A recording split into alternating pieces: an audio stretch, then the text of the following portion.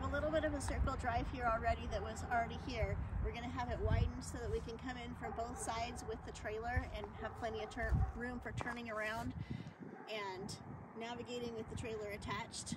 There were some trees in the way that we had to trim. Go. We had there was branches in the way we had to come and trim before we got in here the first time with the trailer. We took care of that the first couple days we were here. All right, go. Our water is hiding under here. Um, it's um, just in the middle of nowhere because that's where the end of the original water was. It's covered with a garbage can right now since it's been below freezing at night. And these are our piles of chert that the excavator brought in over the last few days. We're gonna be putting a driveway in straight back from here to the back of the property.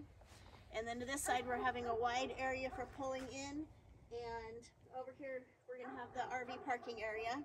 It'll be wide enough for two RVs probably, um, with plenty of room, or we can park sideways in it. It's gonna be a lot of area there. Um, we got the power pole put in at the back already. Um, it's not connected to the power yet. That's supposed to happen in the next week. But for now, we've got power there, and then eventually we will run this water over next to the power pole as well. So this is going to be all the RV parking area. Uh, back here where the green posts are is where the septic tank is. We were hoping that the septic system was still operational. It was put in probably 60 years ago or something. It's very old. Um, the tank is still fine, but we will have to put in a new drain field if we want to be able to use it, which isn't too expensive, so we'll probably get that done in the next year or so. But for now, we're not going to be using it. It was handy to find out that the tank was still good because that would have been a big expense. Um, there was a big tree right here that had was half dead from when the house burned down here about 30 years ago. So they took that out yesterday, or uh, last week, knocked it down like it was nothing with the big equipment.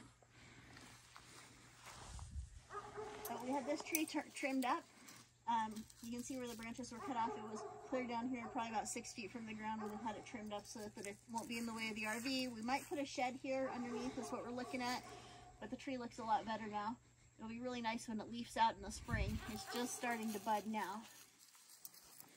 So these stumps are what's left where the power company took out the trees. We're going to have those ground down so that it can be part of the driveway. Where the flags go here is where the driveway is going to come in to go into the RV parking space. And then along here we planted four little trees and then one on the other side as a little bit of a windbreak. When they get bigger, they'll help block the wind. This is our side road along here. This is Prince Road. And this area from the telephone pole back to the trees was just full of nasty brush and vines and half dead trees. So we cleared this out completely. Um, we're gonna probably plant some trees along there as a windbreak as well. There was also a few trees across the back here that we had the excavator take out in case we ever want to put something back there, some kind of a building or a shop or cabin or something, they're out of the way. And then a few along the edge of the back of the forest there we had taken out, they were just little scraggly trees that were new.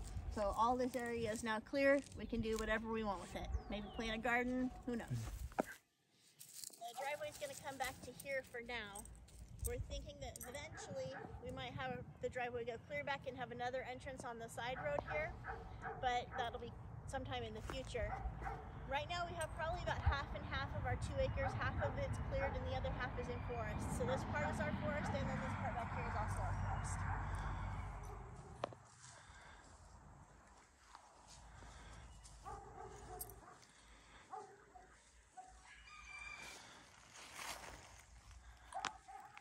Back in this little clearing here, we built three compost bins. We filled two of them with all the junk we've been cleaning up, leaves, straw, ashes from burn piles. We've done several burn piles already. And then of course they've sunk down. So two of them are about half full now, but at some point if we want to build a garden, it'll be some nice compost for us out of free materials that we got off the land.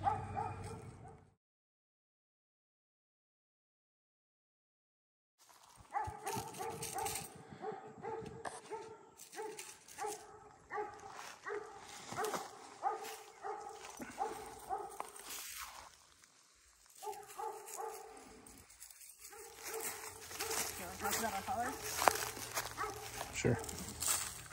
Go ahead. Down here is our holler. I think that's what you call it in Tennessee. It's really got a lot of vines and stuff that eventually we'd like to clear out all the junk so you can walk through it. You can hear the neighbor dog in the background. He is not a fan of having new neighbors. He barks continually as we're out here. Luckily, he's a little far away, so it doesn't bother us too much.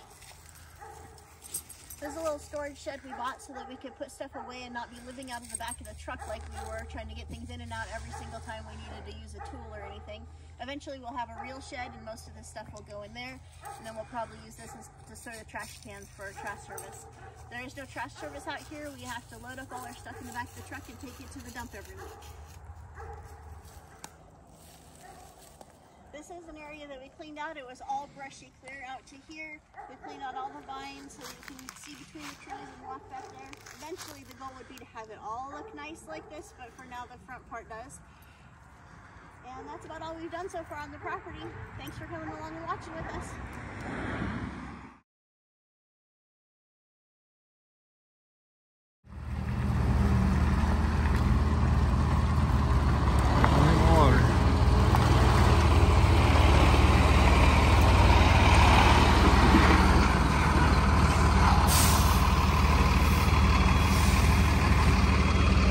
Só